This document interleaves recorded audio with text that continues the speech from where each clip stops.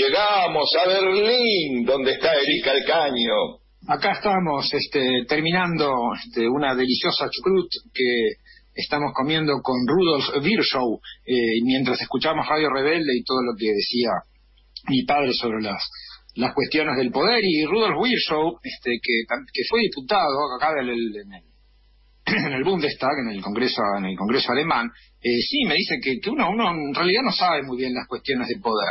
Porque usted también se interesa la política, ¿no, don Rudolf? Sí, en realidad me interesa mucho la política, pero eh, usted me trajo acá para que yo hable de medicina. Bueno, sí, en realidad le digo yo. Pero me dice Virchow, en realidad mi trabajo en medicina para mí es una continuación de mis convicciones políticas y de mis visiones, y de mis visiones sociales. ¿Cómo es eso? Sí, mire, eh, yo vivía en la viví entre 1821 y 1902 eh, y en realidad se me conoce porque eh, trabajé el tema de las células, porque antes, hasta hace pocos pocos decenios, medio siglo, nada más, se creía aún en la medicina de Hipócrates, de los griegos, de Galeno, que había cuatro humores, el melancólico, el bilioso, el, el, sanguíneo, este, el flegmático, y que las células dependían de eso. Y en realidad, yo lo que vine a decir acá es que hay una patología de las células, que las enfermedades transitan por las células, y lo cual es muy importante también para todo lo que es la epidemiología y las pestes, porque es ahí donde se infecta el virus. Ah, mire, qué bien, sí, sí, sí, realmente estoy muy, muy orgulloso de eso.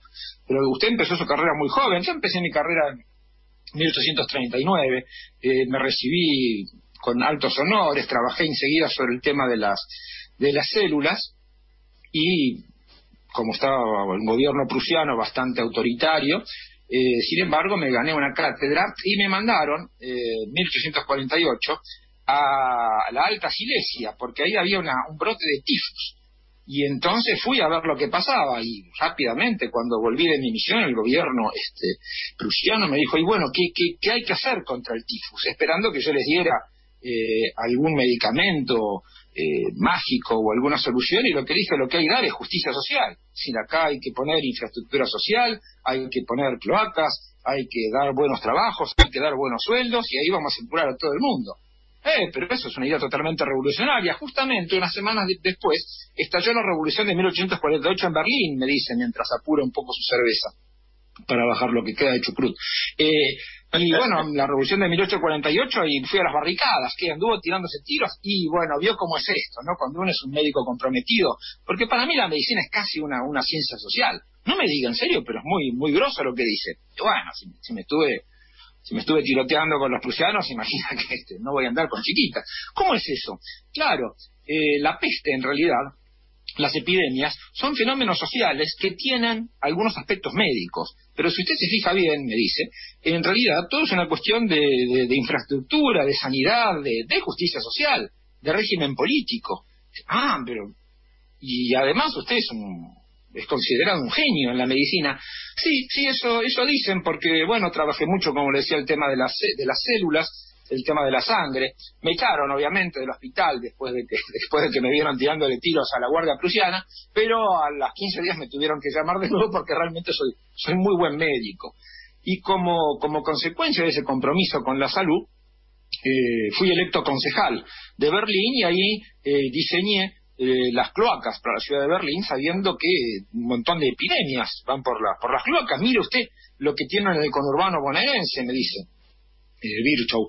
Eh, tanta gente que no tiene cloacas, porque a veces tienen agua, pero no tienen cloacas, entonces el agua llega, pero no tiene por dónde salir. Y hay mucha gente, por supuesto, que no tiene ni agua ni cloacas. Por lo tanto, es absolutamente fundamental contar con esa infraestructura básica, que es un derecho humano, y va a ver cómo desaparecen las enfermedades, baja la diarrea, eh, bajan las enfermedades infantiles, la gente va a vivir mejor. Eh, de nuevo, le digo, la medicina es una, es una cuestión social, porque el médico, me mira así, eh, con sus ojitos, el médico, la medicina la aprende no para tener una carrera, la aprende porque tiene que ayudar a la sociedad. Eso es la medicina para mí. Bueno, pero después me enteré también que fue electo diputado. Sí, fui electo diputado, este, a, la, a la dieta prusiana en realidad, el Bundestag es una cuestión más, más moderna, la dieta prusiana, una dieta bastante frugal, debo decir, pero ahí me agarré con Bismarck, porque en realidad yo estaba en contra de que Alemania hiciera guerra, estuve en contra de la guerra de 1866 contra Austria, de la guerra eh, contra Francia en 1870, eh, pese a que ayudé a los heridos, pero no, no, no, para nada. Y tanto es así que Bismarck me provocó en duelo, lo provocó en duelo el canciller Otto Bismarck, sí, sí, me provocó en duelo. ¿Y usted qué hizo? Porque bueno, algo de experiencia en las barricadas debía, debía tener. Sí, pero lo que hice fue mandarle dos salchichas, sí, como las que comimos en la, en le mandé dos salchichas. No, en serio, le mandé dos salchichas con un papel que decía, canciller, una de estas salchichas está envenenada, con un veneno que no, no permite la vida, que no hay cura. La otra está perfectamente sana y es muy rica. Dado que me batió, a, que usted me provocó a duelo, yo elijo las armas, las armas son las salchichas, una está envenenada, la otra no, cómase una, yo me como la otra. A partir de ahí, claramente, el canciller debe ser unas pocas veces que Bismarck retrocedió y no, no, no, no hubo más, no, no, siguió, realmente cuando uno, cuando uno está en una relación así tiene que salir por el humor. Si, también para salir del laberinto, una de las alas tiene que ser el humor y la ironía. Si no, estamos perdidos. Bueno, después yo seguí trabajando, me dice Virchow, en toda la cuestión celular, en las patologías. Tuve muchos alumnos eh, y me di cuenta, descubrí lo que es la trombosis. De hecho, yo le puse trombosis a la trombosis y también émbolo al émbolo. Es decir, que eh, trabajé en todas esas cuestiones de sangre, pero muy importante todo lo que hizo usted. ¿Y no le dieron el Nobel de Medicina? No, no, no.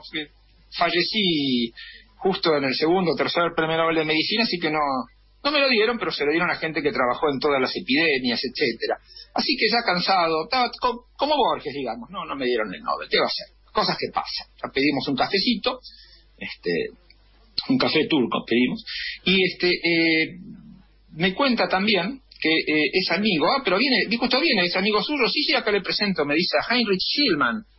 Ah, Heinrich Schillmann, el, el arqueólogo, sí, sí, hay que descubrió el sitio de Troya. Es muy amigo mío y me invitó a las excavaciones y que me dediqué también un poco a, la, a todo lo, que es la arqueología, la ciudad de Troya, esa máscara de Agamenón de oro. Eh, y realmente es muy, muy, muy importante. Este, lo que no está, lo que no sabe, dice Schillman, que todavía tiene un poquito de, de, tierrita que vino de, de, su excavación en Troya, lo que no saben en general es que yo me guié eh, con la ayuda de Virchow, me guié eh, en base a la, a la Ilíada, a Homero, a, toda la mitología para tratar de encontrar el sitio de la ciudad de Troya. Ahora que hay tantos aparatos modernos que pueden ver la tierra de arriba, bueno, el trabajo que, se hizo fue un trabajo sobre todo intelectual y descubrimos Troya. Además, descubrimos que había como siete, nueve ciudades de Troya superpuestas y que la de los griegos era la tercera, ¿no? Porque era la más quemada. Y no saben, me dice Schillman también, que acá el amigo Rudolf eh, en 1873 eh, los prusianos quisieron noblecerlo y que se pase a llamar von Virchow. ¿Y qué hizo? Le, le, pregunto a Rudolf. No, mire, una vez que usted tiró tiros en una barricada, que piensa que la medicina es social, que la cura de todos los males es precisamente la justicia, no, uno no puede ser noble, así que decliné el honor. Mire usted. Y bueno, ya, ya estamos por pedir la cuenta y me, me comenta Bonfirro que no entiende lo, que fue la manifestación de ayer, que justamente si el, tema es la cuarentena para los que pueden ejercerla, el asunto es un asunto de justicia social. No hay que correr riesgo de enfermarse, porque si uno se enferma, por más que después la medicina logre salvar, está ocupando una cama de hospital, está ocupando un respirador. Hay una logística en todo esto que quizás no se den cuenta la dimensión política. Mire, parecen parecen terraplanistas, me dice, parecen antivacunas, anticuarentena, no tienen ideología, uno, uno que ha peleado siempre por una idea. En fin, ¿qué le vamos a hacer? Bueno, Rudolf, realmente un placer, un gusto haberlo conocido a Gilman, ya, ya lo, convocaremos al, laberinto a ver si también hace excavaciones. Así que eh, nos vamos dejando a este gran médico, gran militante, que para quien la medicina es una rama de las ciencias sociales y sobre todo es política. Muchas gracias.